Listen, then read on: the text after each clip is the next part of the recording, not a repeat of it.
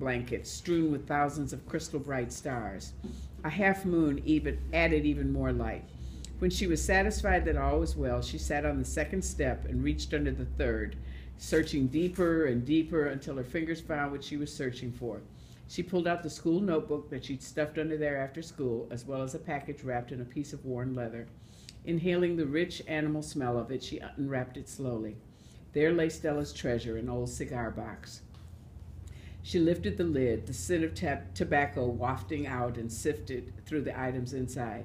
Dozens of yellowing and curled newspaper articles she told she torn from Papa's discarded newspapers, from news stories not pasted on the wall.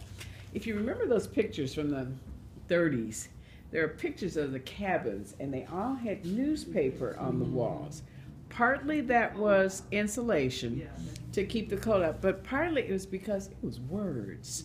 And those hmm. words were on there, and they read those words. And when the paper started getting yellow and peeling, they'd paste more paper up there. It was newspaper, it was words. They could have put something up there that wasn't words, but they purposely had words all over those walls.